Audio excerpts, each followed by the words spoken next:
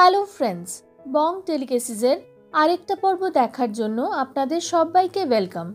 আজ আমি আপনাদের সঙ্গে ঝাল ঝাল লোটে শুটকির রেসিপি শেয়ার করব। লোটে শুটকি বাটা।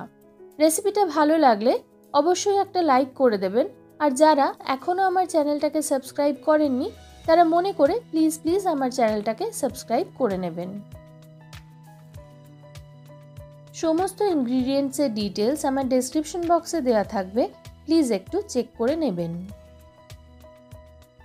লোটে শুটকি বাটা করার জন্য এখানে আমি সত্তর গ্রাম লোটে শুটকি নিয়ে নিয়েছি। শুটকি মাছগুলোর মাথা এবং ল্যাজটা বাদ দিয়ে এই শুটকি মাছগুলোকে 30 মিনিট গরম জলে ভিজিয়ে রেখেছিলাম। তারপর বারে বারে জল বদলে বদলে খুব ভালো করে এই শুটকি মাছগুলোকে আমি ধুয়ে নিয়েছি।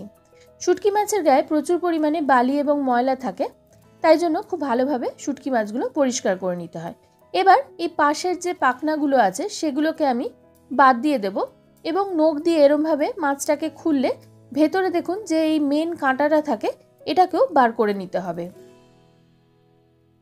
এইভাবে সমস্ত শুটকি মাছগুলো আমি ছাড়িয়ে নেব।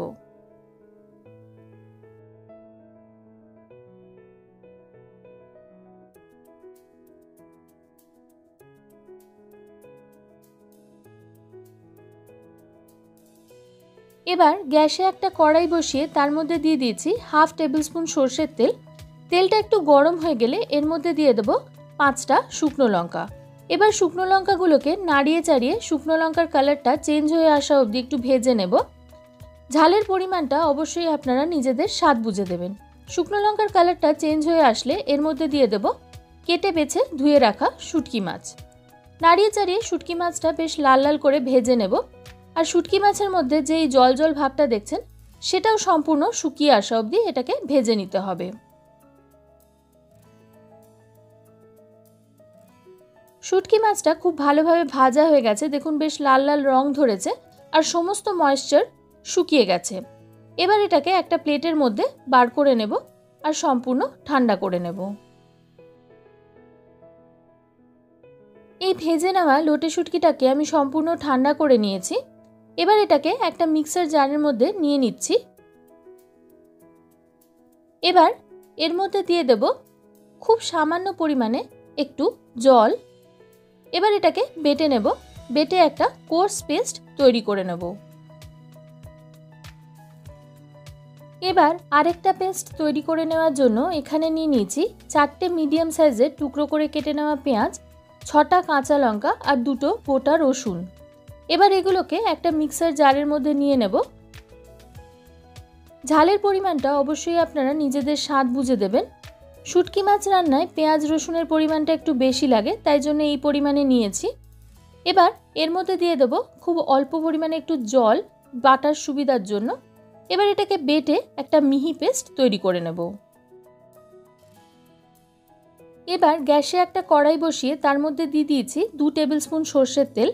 তেলটা একটু গরম হয়ে গেলে এর মধ্যে দিয়ে দেব পেঁয়াজ, রসুন আর কাঁচা লঙ্কা বাটাটা। শুটকি মাছ রান্নায় তেলের পরিমাণটা বেশি লাগে। আমি প্রথমেই একসঙ্গে খুব বেশি তেল দিয়ে দিইনি। ভাজতে ভাজতে যেরম যেরম আমাদের তেল দরকার পড়বে, আমি সেই অনুযায়ী তেলটা অ্যাড করে নেব। এই বাটাটাকে এবার পেঁয়াজ, রসুনের কাঁচা গন্ধটা চলে যাওয়া অবধি একটু ভেজে নিতে হবে। পাঁচ ছ মিনিট ধরে খুব ভালোভাবে কষিয়ে নেওয়ার পরে এর মধ্যে দিয়ে দেব এক স্পুন হলুদ গুঁড়ো। দিয়ে দেব দুই টেবিল স্পুন ঝাল লঙ্কার গুঁড়ো। ঝালটা অবশ্যই আপনারা নিজেদের স্বাদ বুঝে দেবেন।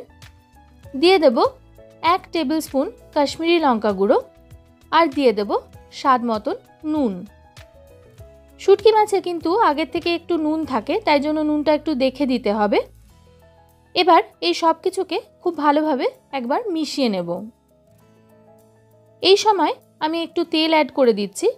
দিয়ে দিচ্ছি আরও দু টেবিল স্পুন সর্ষের তেল। তেলটা দিয়ে ভালো করে মিশিয়ে নিয়ে তিন চার মিনিট একটু কষিয়ে নেব। কিছুক্ষণ কষিয়ে নেওয়ার পরে এর মধ্যে দিয়ে দেব এই বেটে রাখা লোটে শুটকি মাছটা। ভালো করে মিশিয়ে নেব। আর এবার এটাকে খুব ভালো করে কষিয়ে নিতে হবে। এর মধ্যে আর একটু তেল লাগবে, তাই জন্য আরও দু টেবিল স্পুন তেল আমি দিয়ে দিচ্ছি। শুটকি মাছে বেশি পরিমাণে তেল লাগে, আপনারা যদি কম পরিমাণে তেল ব্যবহার করতে চান, তাহলে আপনারা কম দিতে পারেন। এবার এটাকে নাড়িয়ে চাড়িয়ে খুব ভালোভাবে কষিয়ে নেব, তেলটা ছেড়ে আসা অবধি। কষাতে কষাতে যদি বাসনের তলায় লেগে যায়, তাহলে জলের ছিটে দিয়ে ভালো করে মশলাটাকে কষিয়ে নিতে হবে। মশলাটা যত ভালোভাবে কষানো হবে, শুটকি মাছের টেস্ট কিন্তু ততই ভালো হবে।